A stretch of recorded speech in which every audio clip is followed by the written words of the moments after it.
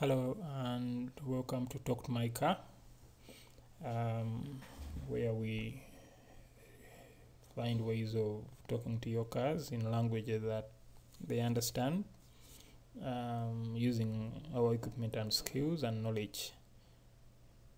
Um, please allow me to begin by introducing you to our Facebook group forum uh, where you can join us for discussions about the type of work we do. Uh, if you need assistance or you just want to give us some guidance on how we should do this work, please feel free to join. Um, and also feel free to uh, ask for uh, help where we can, for example, in revision of wiring diagrams or factory repair manuals. Uh, we can share what we do have with you. Please feel free to contact us. Today, um, we are going to have a chat about the knock sensor operation, most modern vehicles from around 1990 1991 onwards i.e. with um, EFI or computer controlled engine operations they have knock sensors to help the computer know when the engine is pinging when it's vibrating in in, uh, in a way that it it will get engine knock. Um,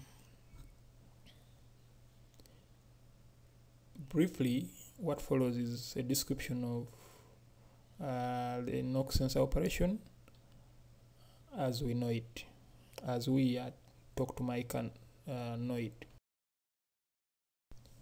Now, the sense uh, knock sensor, this one here, in this image is the equivalent of um, a microphone on the engine block on an engine block. Now it detects uh, vibration frequencies of the engine and passes that information to the engine control module the ECM directly as you can see here. Uh, to inform the computer when uh, when or if um, engine knock conditions in either one or more uh, cylinders are existing or ongoing. And that will with using that information the engine computer or ECM will change the ignition timing maybe it can retard it or bring it forward um, to prevent the engine knocking. Um, it's a, the sensor has a piezoelectric uh, kind of cell inside it. It's usually two wire only one wire is shown in this image because in most designs uh, this would be this wire would be the signal wire and the ground would be achieved by the screw grooves on the engine block.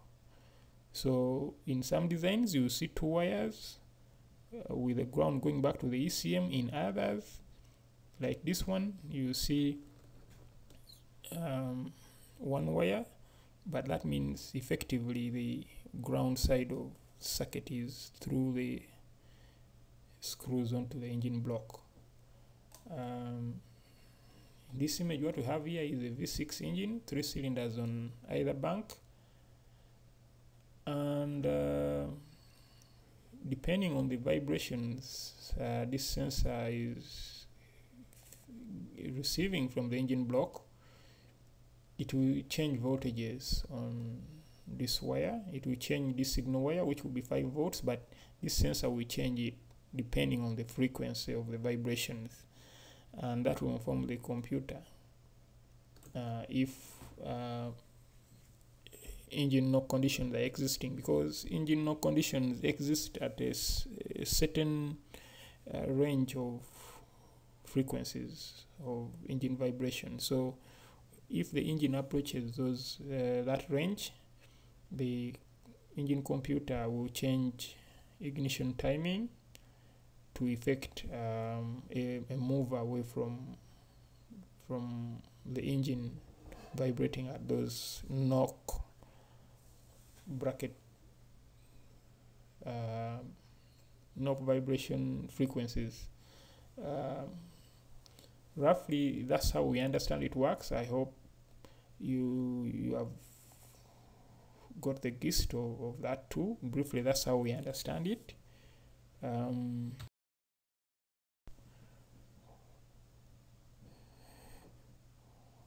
when you when you have uh, if you bring your vehicle to talk to my car and we were able to diagnose it on our equipment and um, informed you that you have a knock sensor code. Uh, here is what you should check. You should check the integrity of this wire here the signal wire. You should check the ground connection. Usually that doesn't need checking if it's a one wire sensor because the ground will be on this side and usually that's secure. All you have to do is maybe unscrew the sensor make sure uh, the screws grooves are clean and the grooves on the engine block are clean too and put it back. Um, with the key on and engine off on this wire you should see 5 volts once this sensor is plugged out. When you put it back that voltage should go down and it should if the engine is running uh, the voltages on this wire will keep fluctuating um, depending on what this sensor is picking from the what vibration this sensor is picking from the engine block. Um, briefly that's about it. If you check that and it's, it's all fine and you still get that code uh, it's time to change the knock sensor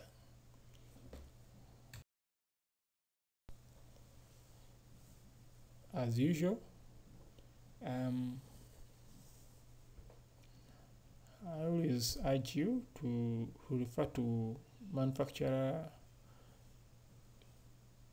factory service manuals where you find wiring diagrams to check out some of these circuits. The factory service manuals will contain much more information than just wiring diagrams. They will contain instructions on what torque to turn, which nuts, uh, how to disassemble what, how to reassemble what, etc. etc. They are usually large volumes uh, of books, but because in this case we're interested in checking out the circuit for the knock sensor you typically open um, the factory service manual for a vehicle and go to the page that describes uh, the circuit of this sensor uh, in today's case I'm using a factory service manual for a 2JZ GTE engine. It's, that's a Toyota engine. You find uh, 2JZ engines are usually six cylinder, six inline six cylinder uh, engines. Uh, you find them in vehicles like the Progress, Brevis, and um, and a few other high performance vehicles like the Supra as well. It could be turbo or non-turbo but uh, the engine wiring is usually similar for the knock sensor at least. Uh, in this example here you have the ECM on this end and you have white wires coming out of pin 49 and pin 50 on that ECM and they are both white wires.